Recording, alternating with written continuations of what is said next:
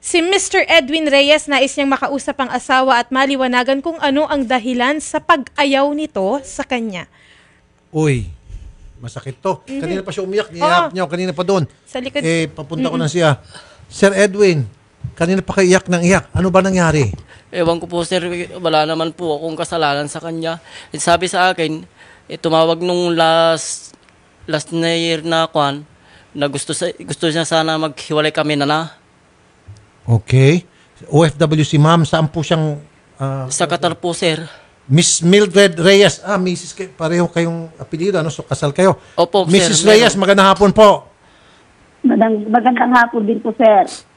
Ma'am, kanina pa to umiyak itong si Mister. Ang ano Naku bang po. nangyari sa inyong dalawa? Ay, nako po, sir. Bahala na po siya kung ano.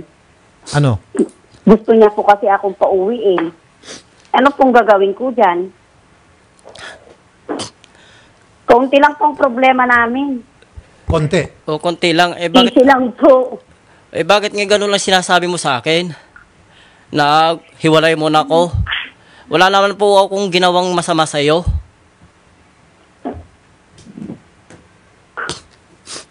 Ma'am, bakit gusto mo makipaghiwalay sa kanya? Ano pong problema? Sinabi ni Ma'am Isi. Wala po akong problema na asar lang po ako sa kanyang kakulitan. Oh, so, ma'am, dahil lang naasar ka sa kanya, ayaw mo na sa kanya at hiwalay ka na sa kanya. Hindi naman po sa ganun, sir. Oh, so, kung makulit siya, hindi po pwedeng dahilan yon na makikipaghiwalay ka na sa kanya. Ilan pang anak nyo? Apat po sir. Sus, ilang taon yung mga bata? Yung kapangalay ko, 15, saka yung kalawa, 12, saka yung nga pangatlo, 6, saka 2 years old po, sir. Oh, ma'am, meron pong 2 years old. po ako talaga ng asawa ko.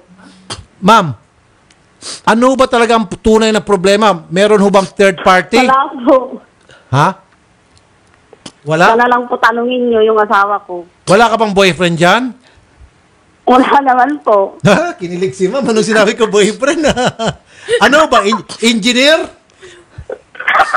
Ano? Sa'yo ni ate. Ano pang engineer? Hindi nga po kami makalabas eh. Hindi ka maka... Edwin pa man din to. Banda balik ito sir. Si Edwin. Sa'yo niya po. Ang saya, sir. Ang saya, saya. Engineer talaga. Eh, an- eh ano kung hindi engineer? Anong ano niya, trabaho? Eh wala naman po. Ah, baka seaman. Natatawa lang po ako. Ma'am, seaman ba? Mo? Seaman o engineer? Alin doon sa dalawa? Si Manloloko. Iyak tayo. Wala Sorry, po. tawa ka tayo. Hindi Tawa. nga Itong po ako isang- makalabas dito. Wala po kaming day off. Wala pa pong ano, kung ano-ano. Eh di ma'am, kung, kung wala kang ginagawang masama dyan, at dahil lamang makulit lang itong si Sir Edwin, huwag niyo pong gawin dahilan yun na para makipaghiwalay na sa kanya. Alang-alang po doon sa mga anak ninyo, Madam Mildred. Pwede ba? Opo, sir. Walang Good. problema po sa akin yun. So, wag ka na maki, hindi ka na makipaghiwalay sa kanya. nasa isip ko. So, ma'am, hindi ka na makipaghiwalay sa kanya. Naku po, hindi po. Hindi ka na makipaghiwalay, tama? Kinakatuwaan ko lang po siya. Ah, go. Ah, para naman siyang sa akin. Oh, sir, ginugood time ka lang daw, hindi, hindi na siya makipaghiwalay. Ang gusto ko lang sana, sana sir, kung ganyan ang ginagawa sa akin, pauwi ko na lang siya. Like, Ah, sir, nagpapadala ba siya ng pera? Wala po sir, Ma- noong October lang sir, wala na. Oh, ma'am. Ma'am, October ka pa, hindi ka lang pala nagpapadala ng pera, di umuwi ka na lang dito. Wala, hindi pala pinapakinabangan ng pamilya mo yung pinaghihirapan mo diyan. Ano po? Sabi niya, Kasi po, tinulungan ko po ang nanay ko. Pero ma'am, nagpadala po ako ng December. ma'am, walang problema, tulungan po natin yung mga kamag-anak natin. Ako po, tinutulungan ko rin nanay ko. Pero ma'am, unahin ko muna ang Opo, pamilya sir. ko.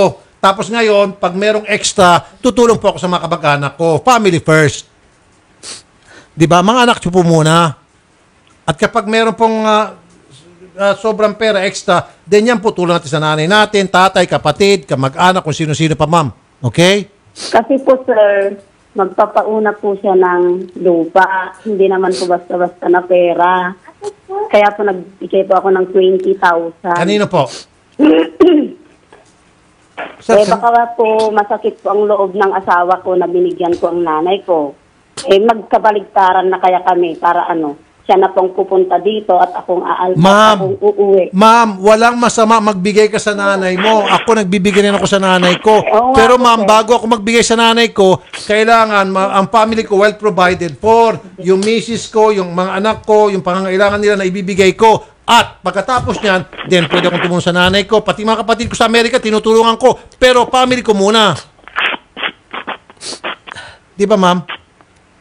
Opo, sir. Okay. So magkabalikan na kayo. Sir. Walang Oh. problema sa akin yun. Okay na, sir, ha? Panic. Walang problema. Pero ma'am, magpadala ka ng pera this month. Ngayong ano po, sir? Oh, siyempre. Opo, magpadala po ako pati po sa utang ko. Oh, magkano papadala mong Nagbigay pera po kay ako sir? Sa asawa ko. Magkano? Kasi po siya. Magkano- meron po magkano siyang papadala mo, ma'am? po Magkano? kantina na maliit. Magkano nga papadala mo raw? Nag-deliver po siya. Magkano may pinapadala dati? po siya. May, um, Dati may po, sir, tinanim eh, po kwan. siyang mais na Ah, ikinas po niya. 23. O 23 pa Ano pataas. trabaho niyo, sir? Parames por por lang, sir. Okay. 23,000 dati padala niya. Opo. Every month. Ay, hindi po, sir, ma. Sir, nung kwan, 14,000, saka 20. Dahil binayaran ko kasi yung kwan, sir, yung... Sige. So, ma'am, ma'am Mildred, magpadala kayo ng pera, okay? Tapos, Opo, sir. No problem, sir. ayun. Okay. So, ma'am, wala mo ng engineer dyan, ha? Engineer talaga. Ito po, kung gusto niyo pong kausapin yung mga kasama ko, ang dami namin dito. Oh, sige, kausapin natin. Sir, Oh, hello. ah, ito na po. Oh, sige, kausapin natin. Pwede po kayo magtanong. Hello po. Sino po sila? Ma'am? Hello. Ma'am, si Rafi Tulfo po ito. Sino po sila? Ah, si ano, si Baino, si, eh, Muslim po siya ako. Matagal na kami, ano, matagal na ako dito sa amo namin.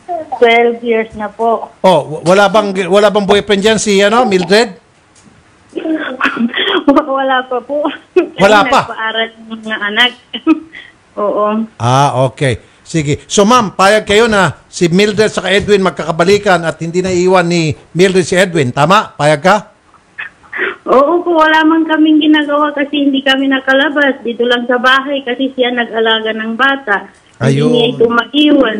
Sige po. Ma'am, salamat ha. Assalamualaikum, madam. Salamat ha. Ah, tul- Waalaikumsalam. tulungan niyo po yung kapatid, kaibigan niyo.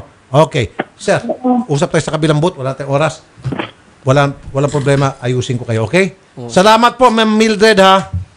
Opo, sir. Magandang hapon po, madam. Madam, ingat kayo dyan palagi. God bless po. Thank you. Sige.